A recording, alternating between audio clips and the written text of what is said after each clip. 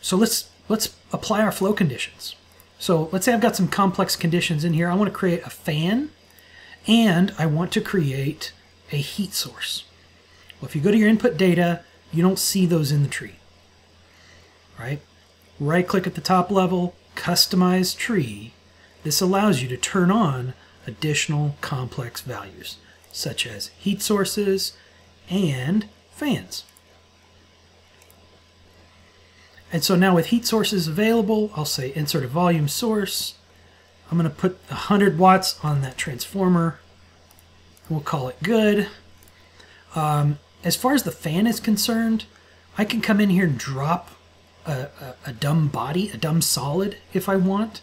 Uh, or I could even identify some of these as fans.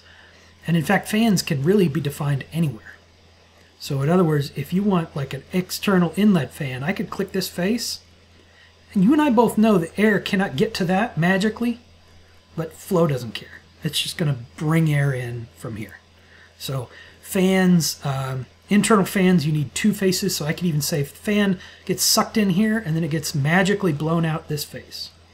Is that actually how that works? No, but fans are actually pretty cool because they allow you to, oh, that's an internal fan. They allow you to basically just make stuff up as you go. All right, I'm going to leave the fan off for now, and we're going to go ahead and get this ready to solve.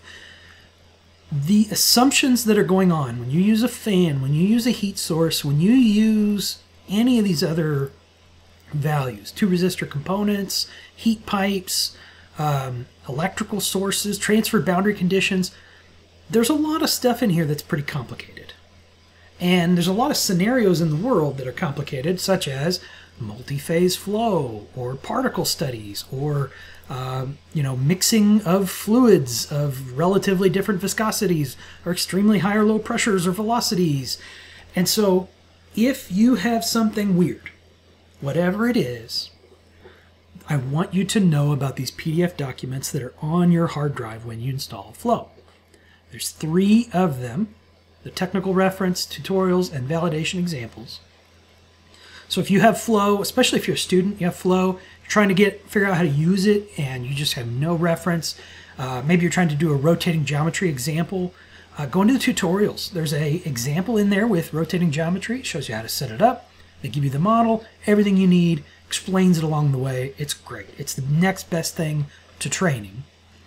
Uh, the validation examples is kind of more like just basic, uh, you know, simple examples that uh, have known solutions that are then solved in each service pack and each release of the, of the software to make sure it's accurate. You can actually do your own checks. Say, well, is this solving correctly? Is this giving correct answers? You can open up the models and check for yourself. But the big one is the technical reference.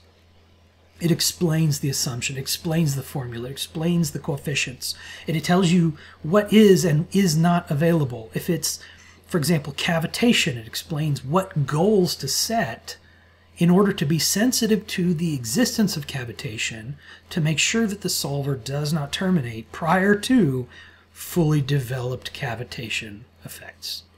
So there's just so much there. I can't possibly cover it all.